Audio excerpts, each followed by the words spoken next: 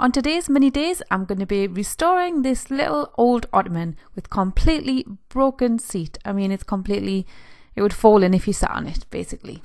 And I'm going to make it look like this. Welcome back to my channel, Mini Days. So to start with, I'm using a tack lifter and a pair of pliers to remove the braid and all of the fabric from the ottoman. Next, I've removed the handles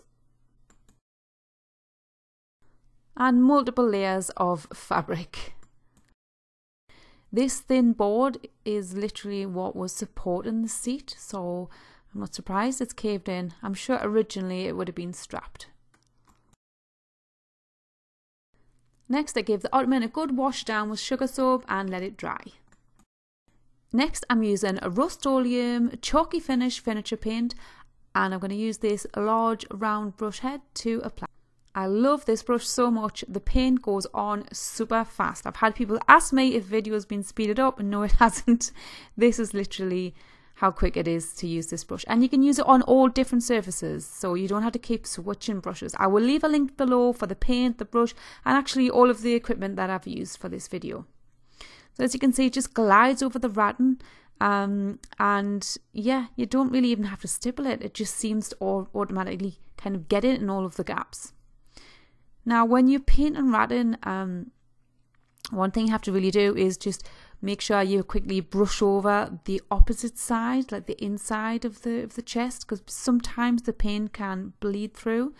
Um, it didn't really happen with me today with this, but I just gave it a quick going over anyway. I mean, I was painting the inside anyway. So after three coats of paint had dried, it was then time to create some kind of stable and base for the seating area. So I'm using this webbing and these sharp scissors and my good old staple gun. I've never been known for my cautious side. You should know that I'm well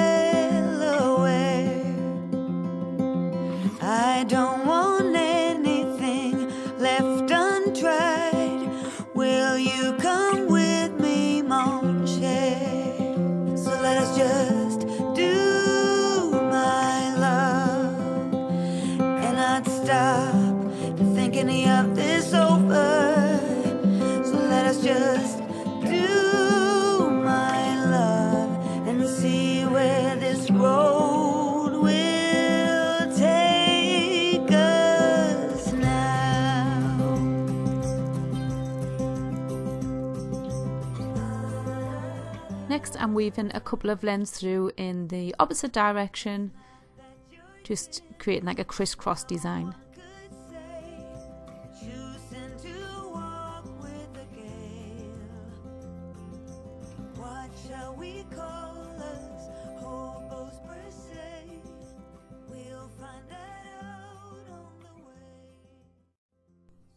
For the next step, I'm going to use this 2 inch thick foam. So I'm just positioning the corner on here, so I only have to cut two sides. And I'm just going to go underneath, just put a bit of weight on there, underneath with a felt tip pen, and I'm just going to mark exactly where I need to cut.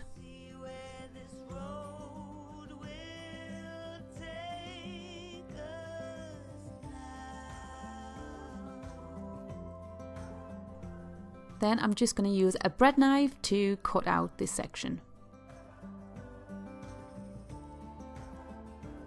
Next I place the foam on top of the strapping and then I've just laid my fabric on and I'm just making sure it's nice and straight.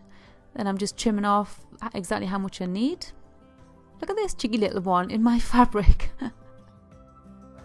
so I'm starting with one of the longer sides first and then I'm just stapling the fabric round to the inside, going all the way along.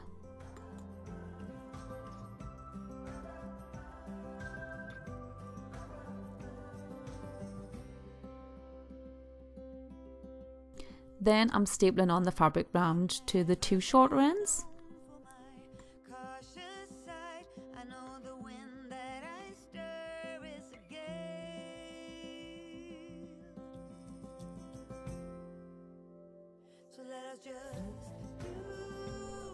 Then I'm just putting a little staple in the side here just so that it keeps everything in place for when I pull the corner around and then staple underneath. So I'm doing this with both of the front corners.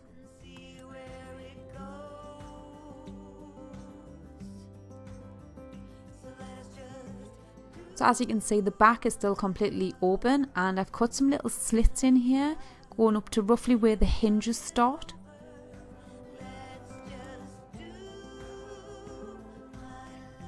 So next I'm going to push this middle section of the fabric through the gap then through the other side. And then I'm just going to staple this inside.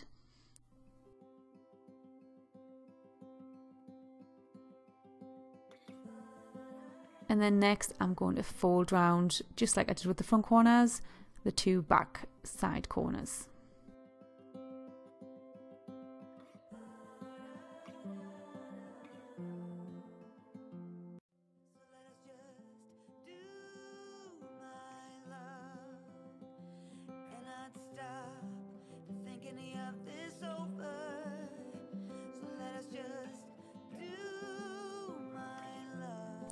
Next, for the final part, I am just making sure I've got enough length over these hinges so I can just fold it back on itself and then glue it on. So I'm just trimming it just with a spare kind of inch or so.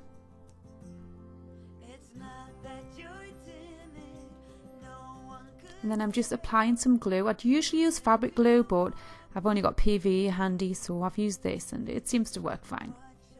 So I'm just putting plenty of glue on the fabric, just let it soak in a little bit. Then I'm just using a skewer to kind of maneuver it into place.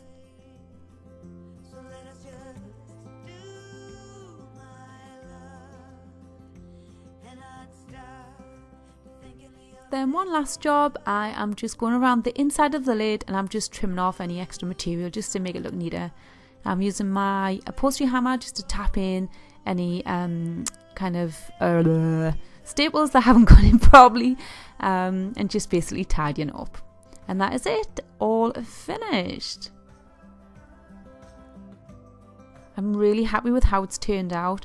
Um, the fact that it's got such a like square, nice, firm top fits in really well with our sofa bed. So I'm using it as like a bit of an end table.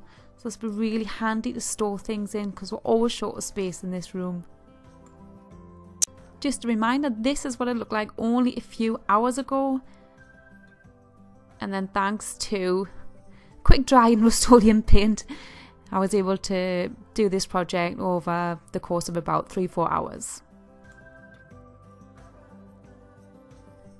Don't forget you can read more about this and my other DIYs over at my blog minidays.com. I'll leave a link in the description box below to where you can get this gorgeous tick and stripe fabric. It's just so nice to work with.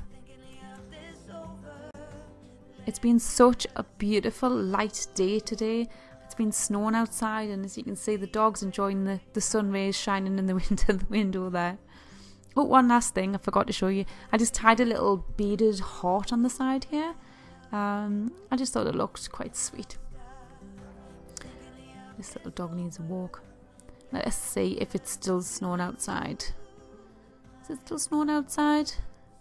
Just take a look through this window.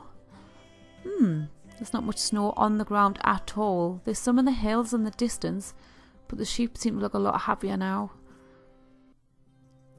Hmm, yeah, maybe we'll go out. Yeah, let's head out for a walk. It's not that you're one could say. Choosing to walk with the gale. What shall we call us? hobos per se. We'll find that out on the way. So let us just do my love and not stop thinking of this over.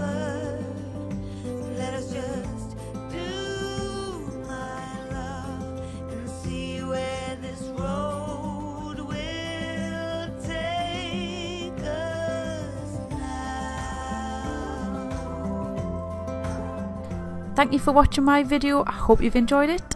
So bye for now and I'll see you next week.